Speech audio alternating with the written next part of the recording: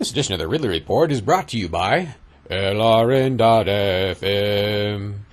Feds don't want you to hear them.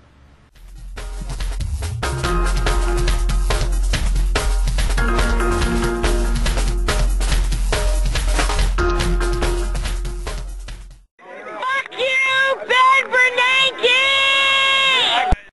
Mike Lacrosse Watchdog. We're burning paper notes right here at PorcFest. Hello, this is Ron Paul with your weekly message for September 3rd.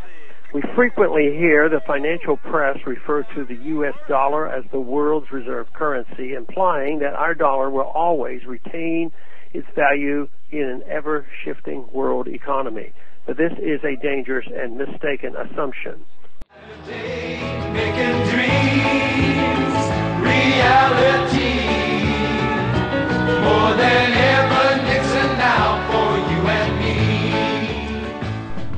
Since August 15, 1971, when President Nixon closed the gold window and refused to pay out any of our remaining 280 million ounces of gold, the U.S. dollar has operated as a pure fiat currency.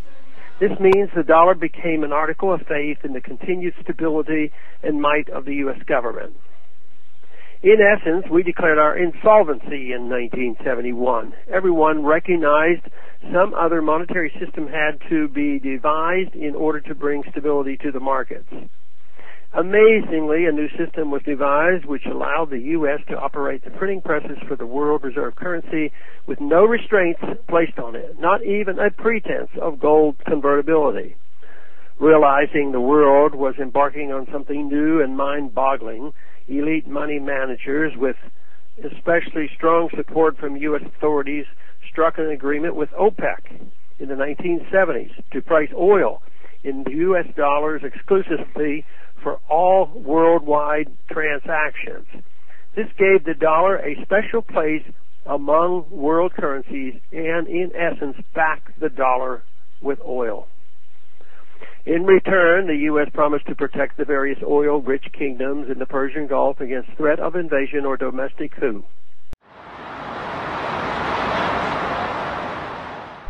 This arrangement helped ignite radical Islamic movements among those who resented our re- influence in their region. The arrangement also gave the dollar artificial strength with tremendous financial benefits for the United States. It allowed us to export our monetary inflation by buying oil and other goods at a great discount as the dollar flourished. In 2003, however, Iran began pricing its oil exports in euro for Asian and European buyers. The Iranian government also opened an oil bourse in 2008 on the island of Kish in the Persian Gulf for the express purpose of trading oil in euro and other currencies. In 2009, Iran completely ceased any oil transactions in U.S. dollars. These actions by the second largest OPEC oil producer posed a direct threat to the continued status of our dollar as the world reserve currency. A threat which partially explains our ongoing hostility toward Tehran. While the erosion of our petrodollar agreement with OPEC certainly threatens the dollar's status in the Middle East, an even larger threat resides in the Far East.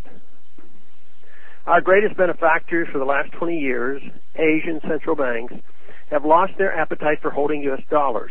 China, Japan, and Asia, in general, have been happy to hold U.S. debt instruments in recent decades.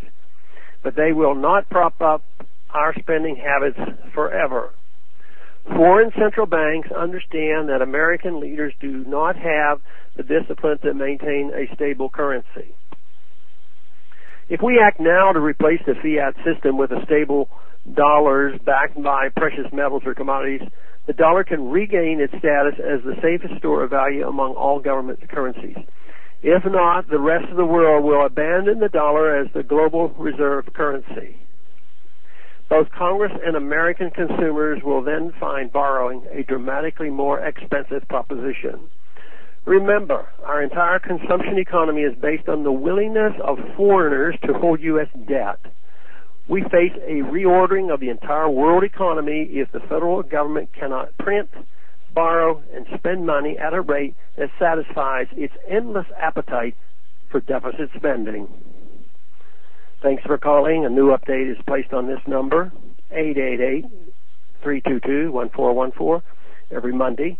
The written text can be found at my website, www.house.gov slash Paul, under the heading Texas Straight Talk. Thanks for calling. Nope, can't do that. Federal agents on the streets of Keene, New Hampshire. They're investigating reports of an unlicensed radio station said to be broadcasting LRN.FM. So why all the fuss? What is LRN.FM? Well, it's probably not something these agents want you to listen to. It's a 24 hour news talk broadcast, all pro liberty. A true authoritarian free zone. Tune in at LRN.FM to listen or broadcast their signal. LRN.FM. Feds don't want you to hear them.